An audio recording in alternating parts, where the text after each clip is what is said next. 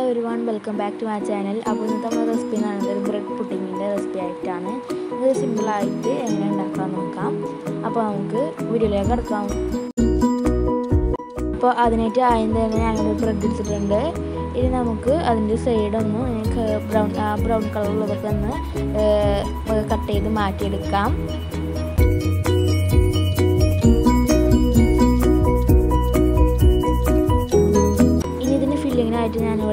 ഇത്തിരി white chocolate മെൽട്ടാക്കി വെച്ചിട്ടുണ്ട് ഇപ്പോൾ നമ്മൾ ബട്ടർ സ്കോച്ച് പുഡിംഗ് ഉണ്ടാക്കുന്നതുകൊണ്ട് ഇത്തിരി ബട്ടർ സ്കോച്ചിന്റെ എസൻസ് ഒഴിച്ച് കൊടുക്കാം.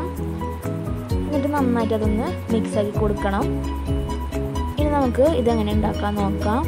അപ്പോൾ അതിന് ടൈം തന്നെ ഒരു ബ്രെഡ് വെച്ച് കൊടുക്കാം. ഇനി ബ്രെഡിലേക്ക് നമ്മൾ നല്ല പോലെ ഷുഗർ സിറപ്പ് ആഡ് ചെയ്ത് കൊടുക്കാം. നല്ല പോലെ ആക്കി കൊടുക്കാം. നമുക്ക് ക്രീം ആഡ് ചെയ്ത് കൊടുക്കാം ക്രീം അധികം ചിഫാണെന്ന് നിർബന്ധമില്ല. ഇനി നേരത്തെ നമ്മൾ ഉണ്ടാക്കി വെച്ച ഗണേഷ് അതിനുശേഷം ഇത്തിരി കപ്പലണ്ടി ക്രഷ് ചെയ്ത് ഇട്ട് കൊടുക്കാം. ഇതിപ്പോൾ ഞാനിവിടെ ഒരു സൂപ്പർ മാർക്കറ്റിൽ നിന്ന് മേടിച്ചാണ്. ഇതേമാതിരി എല്ലാം ചെയ്തെടുക്കാം.